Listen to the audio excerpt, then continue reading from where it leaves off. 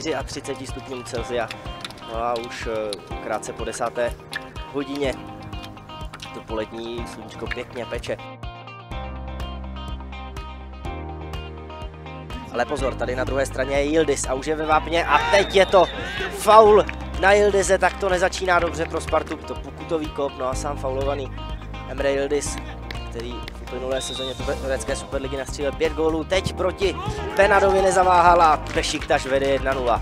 No a teď to vypadá na rychlý break, který tam může Sparta předvést, tady je Kozák, proti němu vyběhlý golman. A Kozák byl faulovaný, tak to by měla být karta a možná i vyloučení pro hráče Bešiktaše. A je to tak, rozhodčí tahá červenou kartu. No a teď to budou emoce, protože samozřejmě Turkům se to nelíbí, ale myslím, že je jednoznačný zákrok na pronikajícího kozáka. Teď upřímně řečeno nerozumím výroku sudího.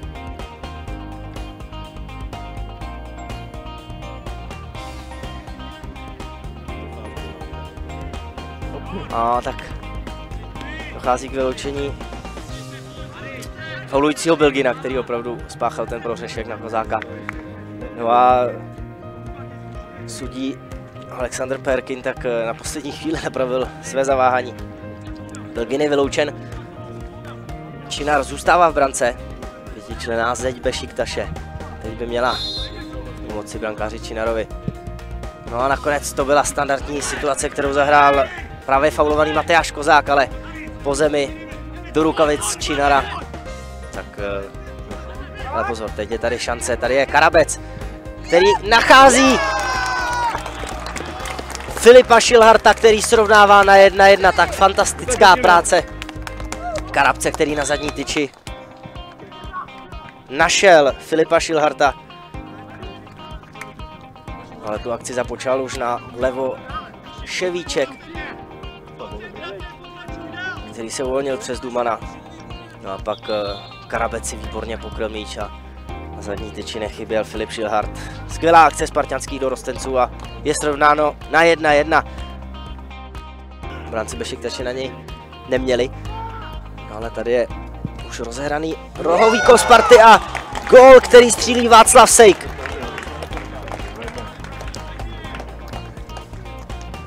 Tečoval tam střelu a golman ani obrana s tím nic nezmohli.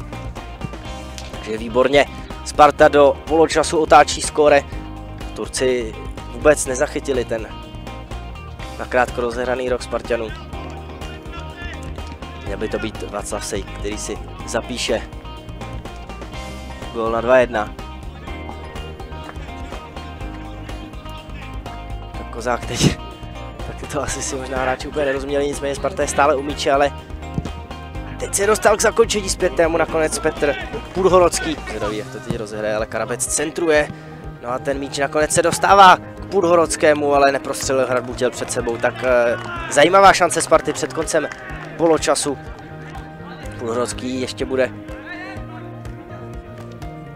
činnosti, protože půjde rozhrávat rohový kop. Teď to nevypadá na roh, nakrátko, naopak se tam natlačí hodně hráčů, včetně kapitána Gelašviliho. Tady je šance Sparty. Ševíček, který dává gol. Sparta vede 3-1, 63. minuta a obrovská mezera v obraně Turecka, tureckého týmu.